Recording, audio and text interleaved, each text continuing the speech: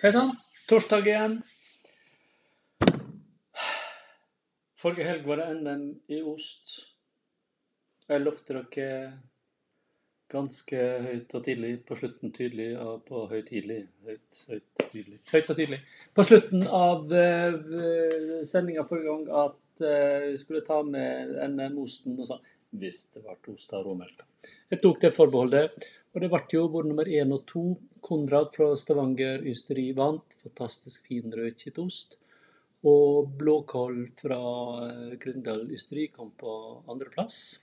De var i grunnen kanskje litt i ei klasse for seg. Uh, og det er fint. Blåkål er jo en variant av råblå. Uh, de blir laga på samme måte, men de blir modna litt forskjellig. Så fantastisk fin ost, det også. Men verden vil ha det slik, eller omstendighetene, som uh, jeg vil si. Um, at de virker ikke som de er å få tak i um, i um, Oslo akkurat nå. Senere en gang, kanskje. Det hjelper ikke. Så da har vi gått videre. Eh, så, så, så, så det blir ikke det. Eh, I. I den forbindelse så får vi jo se hva verden bringer på et senere tidspunkt. Det, det vet jeg ikke. Så da ser dere jo bak meg her fra eh, stranda på Campastia at vi er tilbake på Akkurat det er jo på Mallorca, da, men vi er tilbake i Spania. Og vi er faktisk fremdeles i på La Mancha. I en plass som heter ja, La Cast Nei, Castilla La, Man La Mancha. Ja, I Cueno Nei, Cuenza. Cuenza, ikke Queno. Quenza i Castilla La Mancha. Det er altså sånn sørvest, sørøst, sørøst for Madrid nesten halvveis til eh, Valencia. Eller godt over halvveis hvis du kjører fra Valencia mot Madrid. Eh, så det er jo på en måte en eh, manchego-type, kan man jo si. Det er en sauemelksost. Eh, og det er jo eh, fra manchega-sauer. Men den er ikke helt sånn likevel. Den er litt spesiell fordi at det, Ja, for det første er den håndlaga. Det er den jo. Det, det, så, og så um, er den altså laga i henhold til en veldig gammel tradisjon. Um, uh, som um, de vel kaller domin picon-stil. Eller domin picon-stil. Uh, som da betyr at uh, osten blir smurt inn med grisefett og så blir den tilsatt litt urter, spesielt rosmarin og timian, pluss litt annet som de på en måte som vokser vilt av litt sånn tilfeldige middelhavsurter um, i, i, området. Og så blir den tilsatt brandy eller druebrennevin, da, hvis du vil Eh, i den blandinga, ikke nødvendigvis i osten. Og det, det her er vært eh, laga siden middelalderen. Eh, og de som begynte å lage den, det var en orden som heter, det må jeg sjekke her, La Orden Militar de Santiago. Altså militærorden fra Santiago. Så de var det første. Og osten blir laga på samme måte nå som den ble da. Og det er jo kanskje, syns du, litt sært at en ost er smurt inn med grisefett eller lard. Men det er ikke spesielt. Det bruker britene også å gjøre. En del cheddarer når du spiser, er smurt inn med grisefett. Eh, på samme måte som f.eks. Cheshire, som kanskje er ansett som britiske eller britenes eldste ost. Ja, så sann er det, og det kan vi jo se på. Altså Her ser dere det. Dette hvite er jo på ingenting, ingen måte muggsopp eller noe som helst. Det er altså fett. Se her. Liksom. Det her er grisefett. Rett og slett. Det var jo sånn clean når jeg pakka den ut her, at det var ikke måte på. Sånn. Og Det blir jo anbefalt at du tar bort det da før du spiser den. Det holder jeg i grunnen med deg, med det i. Så skal jeg liksom bare sånn ta av det der sånn. Det er litt sånn clean, da. Og så har vi mer her. Oh. ja, kult. Ja. Osten heter jo Don, Don Picon, de, Don Picon de Cuenza. Um, hvis du er i Spania, så må du uh, lete, etter, lete etter den um, for å se om du finner den. Uh, jeg gleder meg til å smake. De anbefaler jo at du Se her, nå forsvinner glasset. De, de, anbefaler at du drikker en rødvin til, temperert rødvin temperert vil si 18 grader, 17 grader, 18 grader 17 grader, har jeg sagt. Um, typisk Rioja. Uh, ja, de sier jo både Reserva og Crianza, men du kan jo også drikke litt sånn uh, Ribera del Duero. Jeg tror det blir fantastisk til. jeg har litt sånn fordi det jeg hadde lyst, eller lyst på det var det jeg hadde, en halv flaske av, eh, for å si det sånn. En hvitvin. Um, det er litt friskere. Det er en Sauvignon Blanc, typisk sånn Loire-drue. Typisk geitostdrue, altså chèvrevin. Um, og den er altså petit bourgeois fra Henri Bourgeois. Veldig vanlig på polet. Helt ålreit. Smaker en god del stikkelsbær. Fin og frisk. Og kanskje mest for en vårdag heller enn en litt sånn skoddete sein oktoberdag. Men sånn ble det. Mm. Så skal vi ta smak på det her, da. Skal vi se. Jeg gjør sånn litt her. Nå har vi jo tørka av litt av det her fettet. Vi kan ta litt mer her. Jeg vet liksom ikke om sånn kaldt grisefett etter jeg liksom sånn helst vil ha, da. Um, jeg hadde tenkt at vi skulle ha to oster, men, men det, det, ble bare én. Um, fordi um, jeg ble så måte opphengt i historien her at jeg, um, jeg rakk ikke å lete fram noe sånn, eller gjøre research, så det heter på den andre. Um,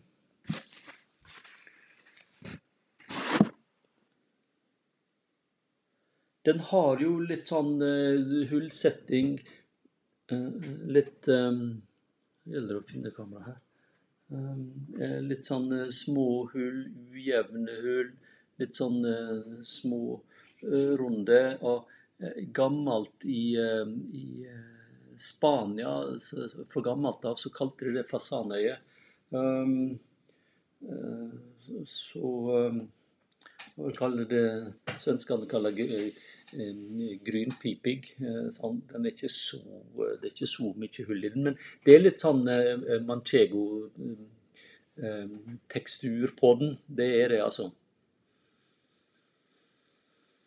Jeg syns jo det at de overdriver litt når de sier at det var veldig mye urteduft. Det her er veldig typisk eh, en fersk. Den er ikke så gammel. Den kommer i litt sånn forskjellige varianter eh, fra, fra, ganske ung. Og den her er ganske ung. Den er minimum to måneder, men ikke så fryktelig mye mer enn det. Eh, for jeg kjenner på dufta. Den er frisk, den har frisk melkesmak. Den er fruktig. Eh, veldig god duft. Så, men ikke spesielt mye timian eller rosmarin her. Og ikke brandy heller. Så vi får se hva det eh, smaker. Den er ganske fast, altså den er ikke smuldrete til en sann ostover. Den er faktisk litt sånn eh, gummiaktig i konsistensen, og det er bra. Da, da holder han seg eh, sånn eh, i ro, for å si det sånn. Jeg smuldrer ikke mellom fingrene på det. Mm -hmm. Oi, oi. Smaker godt, da. Mm. Og nå kommer det litt krydder. Og litt urte. Det gjør jeg. Mm. Ja. Og fin til å være såpass ung. Altså, dufta eh, ga inntrykk av en yngre ost enn det smaken gjør. Da eh, knytter den seg litt til. Har fylde, fylle munn. Fantastisk god smak. Ah. Nå har jeg hatt to supergode eh, oster fra, fra Spania. Den manchegoen jeg hadde for eh, ja, husker ikke, det var forrige uke eller uka før der igjen, eh, som var også en håndverksost fra kjerneområdet i, i Manchego. Eh, nydelig ost. det, også, det, forsvant fort. Det forsvant så fort at jeg har ikke fått for en måte offisielt smakt den. Altså ført den inn i, i skjemaet, sånn som jeg normalt skal gjøre. Det, men det må jeg gjøre med den her. Så um, um, altså, det her var iallfall veldig grei å finne, for å, å, å, å, si det sånn. Og veldig god. Altså kan jeg godt tenke meg at rødvin hadde funka ekstremt godt her. Så mm.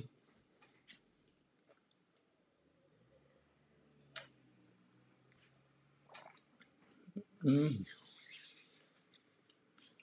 Ja. Rett, jeg har rett, det, altså. Hvitvin passer til alt ost. Så det er jo ikke noe å Men kanskje f.eks. ei, ei chardonnay hadde vært bedre, for litt sånn rundere og ha litt mer smør. Og det har osten også. Du kjenner veldig tydelig melk og mot det smøraktige når du, når du eh, spiser den, og det syns jeg er fantastisk smak. Her er det nydelig integrert salt. Her er det passe med syre. Og så er det ingen bitterhet. altså Det eksisterer ikke engang. Sånn. Det kan hende hvis han får lagra seg et år eller to, men ikke nå. Litt på den tørre sida, men så kom den litt sånn mm. Mm. Fantastisk ost. Jeg må ha litt mer. Mm. Spanjolene vil jo sånn, ha kvedemarmelade til her. Det har ikke noe sånn særlig sansen for. Men det er greit nok. Hver sin smak. Jeg syns ikke kvedemarmelade er noe godt. Så det, Kvede er jo en blanding mellom eple og pære, og som ikke kan spises sånn rå som vi spiser eple eller pære. Det går ikke an, den må kokes. Og da bruker han til gelé eller marmelade eller et eller annet sånt som det er veldig vanlig å bruke til, til ost. I nord i Spania og, og rundt Pyreneene og, og, der, og også for så vidt på den franske sida. Så eh, ja, vi er i Spania. Det smaker nydelig godt. Det er for lite spansk ost? Eh, altså for å si det sånn, Eller for mye industriell manchego? Og det er ikke spesielt interessant av pasteurisert melk. Her rå sauemelk, håndlaga. Det er godt, det. Det er sinnssykt godt. Du kan bare sitte og spise det her. Trenger ikke noe til. Skulle jeg hatt noe til, så er det Iberico-skinke. Ikke Serrano. Iberico. Altså ser om det er Iberico i forhold til Serrano på fargen. Um, Serrano, som eh, butikkene flommer over av, eh, er mer lik den norske i fargen, liksom sånn lys. Mens uh, Ibericoen og uh, forskjellige varianter av den uh, er svart, veldig mørk og veldig fin fettmarmorett. En god del fett inni Selve skinka ligger ikke bare sånn kant utapå. Nydelig. Det hadde vært sinnssykt godt til den osten her. Og da hadde et glass god Rioja vært fint. Eller Rivera del Luero. Det hadde vært veldig bra til. Min anbefaling. Så Å, oh, nei, gud. Feil. Det ja. Jeg tror ikke jeg trenger å, å, å, å, si noe mer. Den heter altså Don Pico de Cuenza og kommer da fra La Mancha-området sørøst for Madrid. Knapt halvveis til eh, Valencia hvis du kjører den veien. Så liksom sånn. Og det er jo fint å kjøre.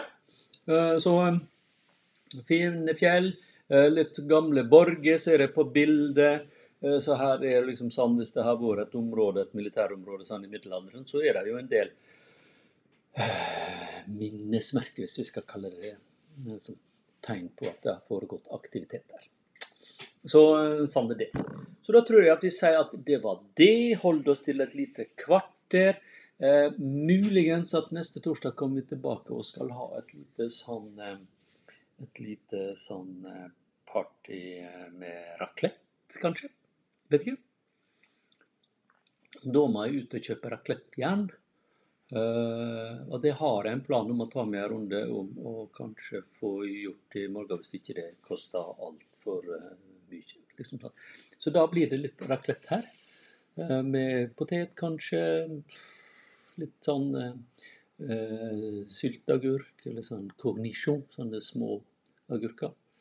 Um, og litt sånn uh, kos, da. Så får vi se hvilken racletteost i, i så fall. Kan hende jeg må um, utsette det litt. Jeg har fått en forespørsel om ikke kan ta raclette. Um, så da, da, må jeg jo gjøre det, da. Sånn, så, sånn det. Så, men uh, for i dag, uh, takk for nå. Og så sees vi om ei vike. Ha det så godt.